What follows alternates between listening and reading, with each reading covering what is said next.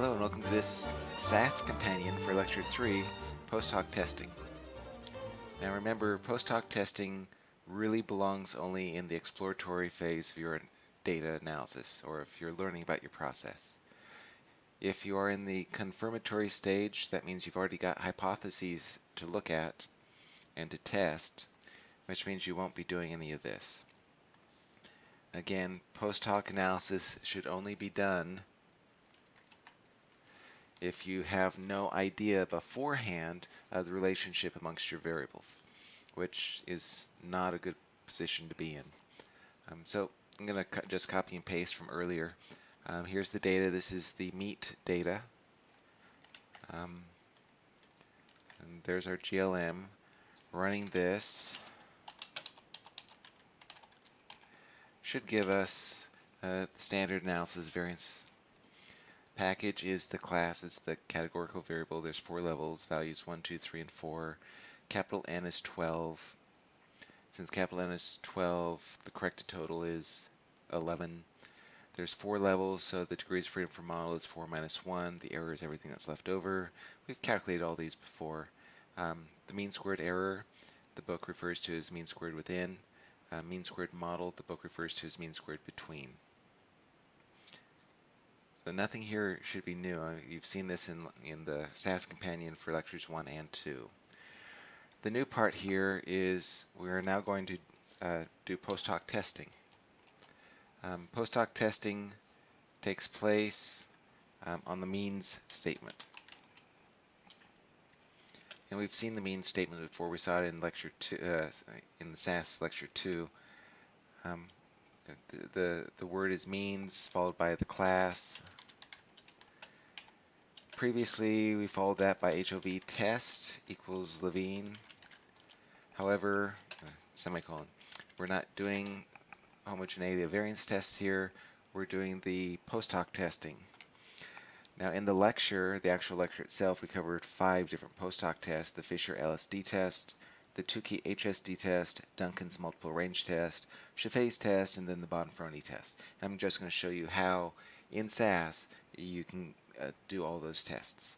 Uh, for Fisher's LSD test, you just use LSD. And it gives us back the original, all the ANOVA stuff, and the last page is the, is the new stuff, really.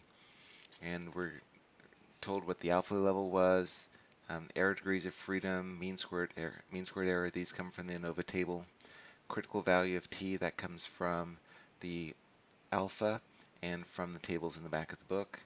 And the least significant difference, um, we calculated this by hand. Remember, if two sample means differ by more than this, then we conclude that their population means differ. And so the new stuff kind of is this bottom table. Um, there's three columns to pay attention to. This, okay, four columns. Um, here, this is the sample size in each level. We know it's three. We ensured that it was a balanced design. The last column is the uh, package packaging type. Um, one, three, two, and four. Four was, uh, I believe, mixed gases. The grouping is important. Um, any two levels that share a common letter, we did not detect a difference between. In this case, their sample means differed by less than 0.609. So here, package type 1 and package type 3, we did not detect a difference in their population means because they both share the letter A. Package type 2, we were able to detect a difference between it and anything else because no, none of the others have a B in them, just package type 2. And package type 4, we also were able to detect a difference between it and everything else because nothing else has a C. So we were not able to detect a difference between the mean log bacteria count for packaging type 1 and 3. But we were able to distinguish the others. Um, notice the sample mean for the mixed gases, the packaging type 4, is the lowest. And we've detected, we are able to conclude that the population mean differs from all the others. Therefore, we are able to conclude that the population mean in terms of log count of bacteria is less than all the others. So we required two things there. One, that it was different from all the others, and two, that the sample mean was less. Okay, that's the LSD test. Second one is going to be the Tukey's HSD test. The option is just Tukey. Notice there's no R there.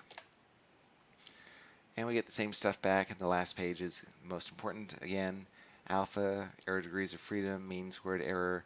There's the critical value from the studentized range, which is the function of alpha, and we got that from the back of the book, and there's a minimum significant difference.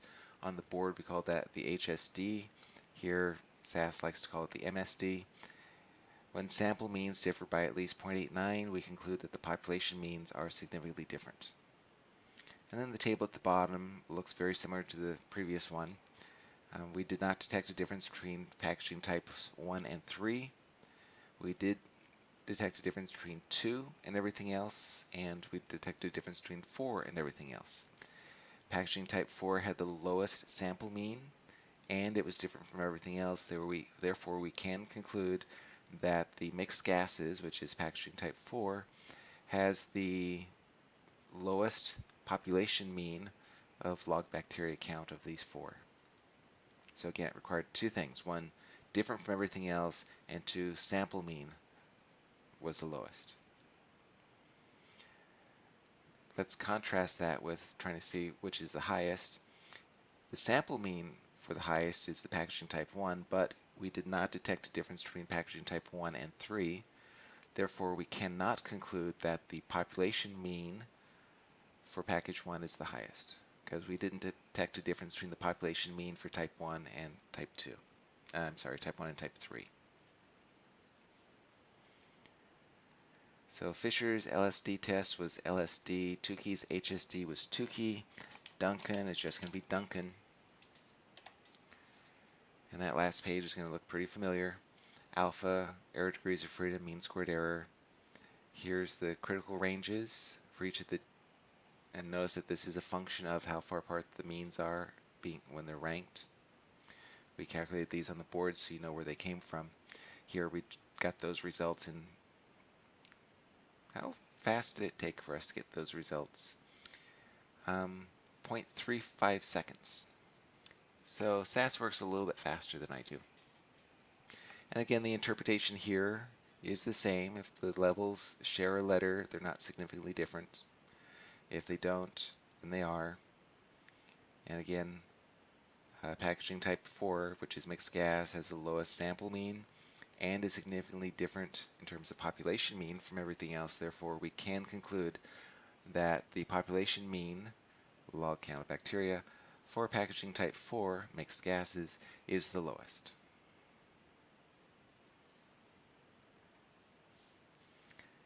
Um, next one was Scheffé, I believe, S-C-H, S-C-H-E-F-F-E. Did I spell it right? It went blue, so I guess I spelled it right. So this will be the Scheffé test. We've calculated the minimum significant difference here again. Um, and the table has the same interpretation, so nothing new here. And the last thing we're going to look at is the Bonferroni, which is just B-O-N. And again, gives us information that looks very familiar. Same interpretation on this table and same information. Remember that critical value of t is based on the t-table but also on the Bonferroni adjusted alpha. So this is not the t value corresponding to an alpha of 0.05. It's the t value corresponding to 0.05 adjusted for the number of tests. So 0.05 divided by 6. Again, it's the alpha that's divided by the 6, not the t value.